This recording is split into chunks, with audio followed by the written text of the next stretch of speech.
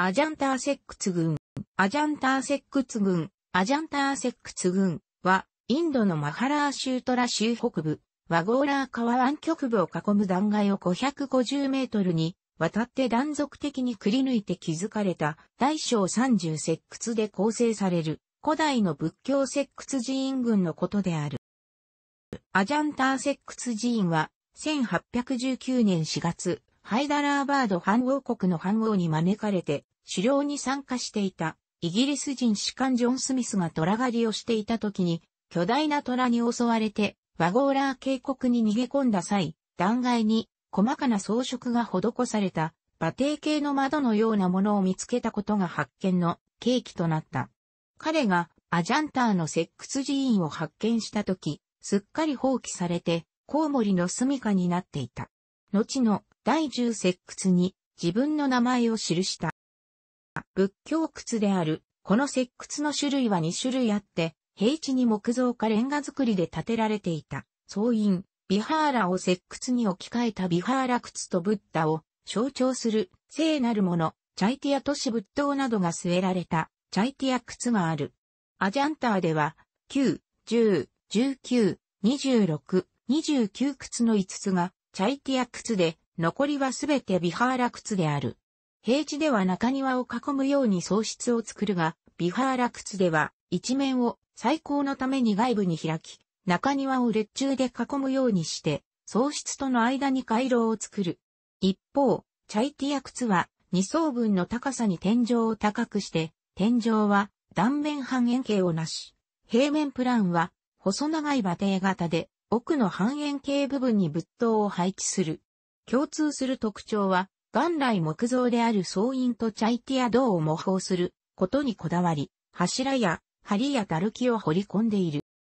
また開掘年代は前期、第1期と後期、第2期に区分される。前期は紀元前1世紀から紀元後2世紀のサータバーハナ朝時代に築かれている。ビハーラ窟としては第12窟、第13窟、第15英窟で、チャイティア窟では第9窟、第10窟で、おそらくビクたちの生活、修行の空間であったためにいずれも装飾が少なく、小型で簡素な作りであったと考えられる。後期である5世紀後半から6世紀頃になると、ビハーラ窟は奥壁中央に仏殿が設けられ、本尊として説法院を結んだ仏陀座像が脇地菩薩を従えて安置され、仏殿としての性格が強くなる。つまり寄進者は聖なる存在としての仏陀に永久に残る住居である、岩屋院を捧げることに功徳を見出すという目的で、石窟を築いたと考えられる。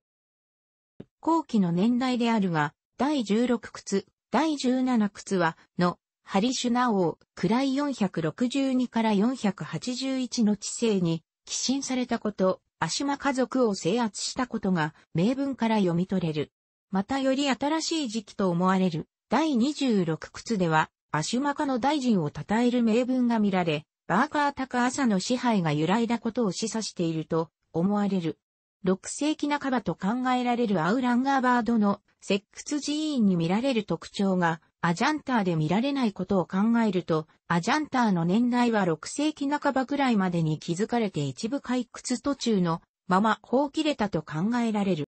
アジャンター石窟寺院の美術的価値はやはり後期窟に集中していると言える。第1、2、16、17窟は入り口柱や天井にミトゥナ像や飛天、レンゲや鳥獣の画像が描かれたりレリーフとして刻まれた、している。またこれらの代表的なビハーラ窟の壁面には、本正丹、ジャータカなどの説話図が描かれた。これらは、悟りを開いたものとしてのブッダが送った模範的障害を表現する絵解きによって、より一層の信仰心を持つよう巡礼に来た人々を教育する目的も持っていた。